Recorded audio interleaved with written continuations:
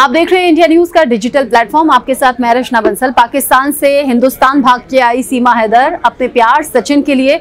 यह स्टोरी आजकल social media पर भी बहुत ज़्यादा देखी जा रही है, सुनी जा रही है।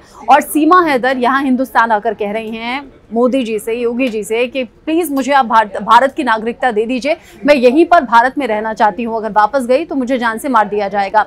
सीमा हैदर यहाँ हिंदुस्तान में रहकर अपने पहले पति गुलाम हैदर को लेकर बहुत से बड़े खुलासे कर रही हैं। वो ये कह रही हैं कि मेरा पति मुझे पहले ही तीन बार तलाक दे चुका है। जैसे तैसे मैं वहाँ पर रह रही थी, गुजारा कर रही थी, लेकिन मेरा कभी सम्मान नहीं हुआ। मुझसे कोई बात नहीं करता था। सबसे बड़ा आरोप उन्होंने लगाया है कि गुलाम हैदर के घर ये रिवाज है कि वहाँ पर बच्चियों को बेच दिया जाता है और मुझे डर था कि मेरी बच्ची को भी बेच दिया जाएगा, इसलिए भी मैं अपने बच्चों के साथ हिंदुस्तान आ गई। सीमा हैदर बताती हैं कि पबजी खेलते हुए सचिन से प्यार हुआ। सीमा बताती हैं कि देर देर रात तक सचिन से बातें हुआ करती थी और सचिन की बातें इतनी पसंद आई। सचिन ने इतना प्यार दिया, इतना सम्मान दिया कि वो पाकिस्तान से भागकर हिंदुस्तान आने पर मजबूर हो गई। अब सीमा हैदर जब सचिन के साथ रह रही हैं, शादी कर चुके हैं, ऐसे कई वीडियोज़ हैं जो सोशल मीडिया पर वायरल हैं चूँकि गदर फ़िल्म की सकीना खुद को बताती हैं, सीमा हैदर, और उस गाने पर एक रील भी बनाई थी जिसमें वो काफ़ी ज़्यादा फ़ेमस भी हुई थी।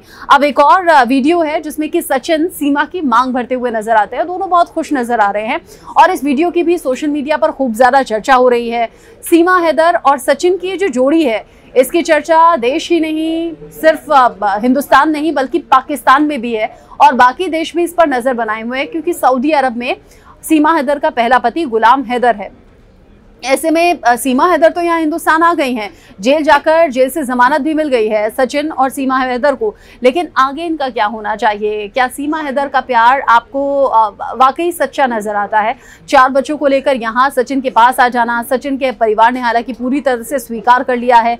कई वीडियोज़ हैं, कई ऐसे इंटरव्यूज़ हैं जो सोशल मीडिया पर आपको नज़र आ रहे होंगे। कुछ नए वीडियोज़ अभी इस वीडियो के दौरान आपने देख लिए हैं, जिसमें दोनों का प्यार नज़र आ रहा है। आपके लिहाज से क्या होना चाहिए? क्या सीमा हैदर को यही हिंदुस्तान में रहना चाहिए? भारत की नागरिकता मिल जानी चाहिए या फिर वापस पाकिस्तान भेजा जाना चाहिए? बताइएगा।